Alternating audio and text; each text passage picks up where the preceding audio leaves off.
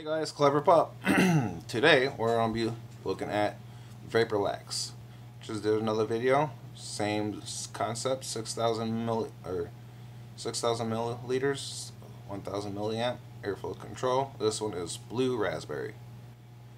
I do like blue raspberry. If there's blue raspberry, I'm gonna be biased on it. I'm just letting you know it's 50 milligram nicotine. If it has good flavor, I'm gonna let you know. Not sponsored by any of these companies I'm reviewing buy it with my own money. Like I said, I do like the ones that have no pack or no plastic um, boxes. If it's like this, I do like the packaging like this because it's so much easier to open.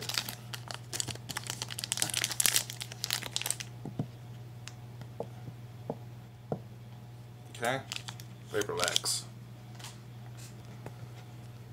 Blue Raz.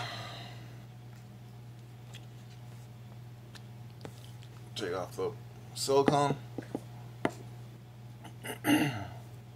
also got the airflow control.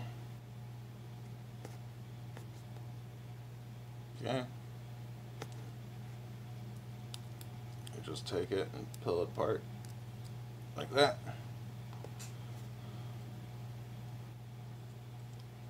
To the right would be maximum airflow.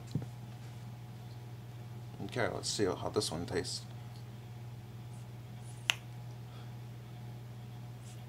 You gotta pop it first.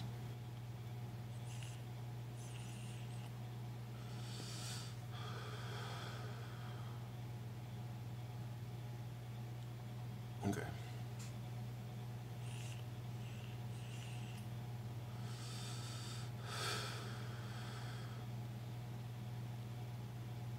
Why is these not having no flavor? Vaporlax, what are you doing? Why is there no flavor in here?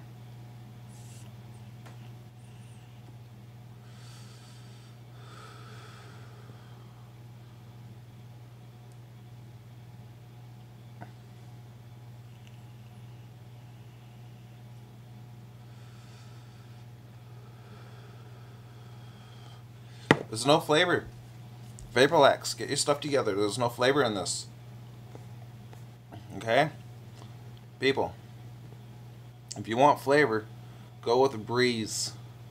Breeze uh, Pro and um, Breeze plus strawberry and cream.